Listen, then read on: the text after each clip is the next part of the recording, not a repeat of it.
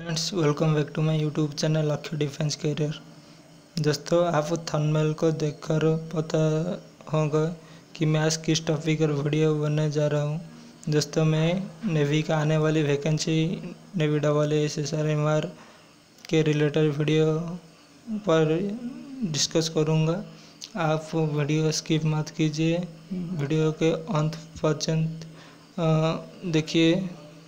और like and subscribe करिए channel let start दोस्तों, आपको पता होगा कि नेवी हर साल दो बार वैकेंसी रिलीज़ करता है। एक जून, जुलाई महीने, जून, जुलाई महीने रिलीज़ करता है। उसका एग्ज़ाम सितंबर में होता है और उसका ज्वाइनिंग फरवरी में हो जाता है। और एक बैच उनका फॉर्म फिलअप नवंबर, दिसंबर में होता है। इसका एग्ज़ाम फरवरी एंड तक होता है और जॉइनिंग उसका अगस्त महीने में होता है। आपको याद होगा कि फरवरी बैच में जो एग्ज़ाम हुआ था, इसका रिज़ल्ट आ चुका रिज़ल्ट आया था 19 मार्च को और पीएफटी मेडिकल अभी तक नहीं हुआ। इसीलिए वो अभी तक चिल्का में ट्रेनिंग नहीं पर नहीं आए हुई अगर उसके पीएफटी हो चुका होता, वो अभी ट्रेनिंग पर होते।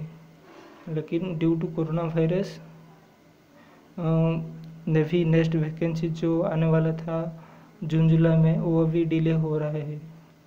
वो मेरे विचार में वो अगस्त में, अगस्त थर्ड वीक तक आ जाएगा। आपको एक यूट्यूब पर। वायरल हुआ था ऑफ़िस वो शायद ऑफिशियल होगा। वो देखिए, ये देखिए। Advertisement for I need to be postponed one month that means जो जून जुलाई में आना था वैकेंसी वो वन मंथ के लिए पोस्टपोन किया जा रहा है। वो होगा जो वन मंथ के लिए पोस्टपोन किया, उसका नोटिफिकेशन आएगा अगस्त में, और पीएफटी और सॉरी और उसका जो एग्ज़ाम होगा, शायद अक्टूबर या नवंबर में एज पर कोविड सिचुएशन होगा।